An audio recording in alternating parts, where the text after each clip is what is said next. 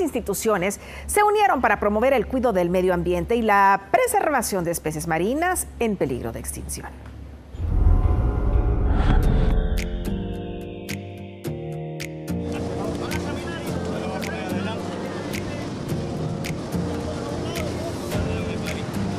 450 tortugas fueron liberadas por el embajador de Estados Unidos en colaboración con miembros del Club Rotario y la Asociación de Tortugueros de la Playa Los Pinos en Cangrejera.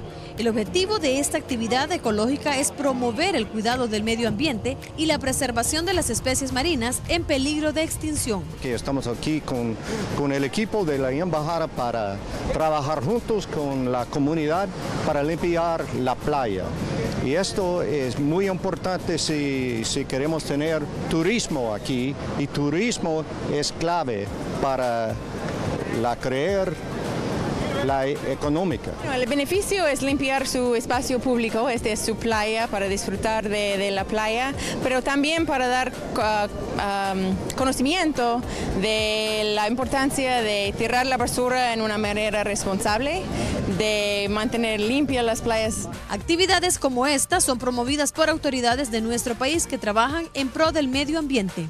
Existe un compromiso real con el medio ambiente, el tema de poder eh, recoger la basura el plástico, la liberación de tortugas, todo tiene que ver con acciones que nosotros tenemos que hacer como compromiso de sociedad, en realidad si queremos ver un El Salvador diferente y un mundo distinto. Los pobladores de la zona están satisfechos ya que también se realizó una jornada de limpieza en un kilómetro de la playa. Este tipo de actividades que en mi caso venimos haciendo desde hace más de dos años permiten visibilizar el problema de contaminación por basura porque la basura no tiene patas, alguien irresponsable la tiró, pero también nos permite concientizar a la población del daño que le estamos haciendo a nuestros océanos y el daño que le estamos haciendo a nuestro país.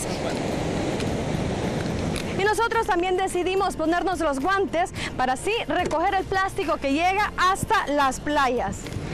Una actividad donde muchos podemos participar para tener limpias nuestras playas y cuidar nuestro medio ambiente. Con imágenes de Francisco Castillo, Jennifer Hernández, Noticias 4 Visión.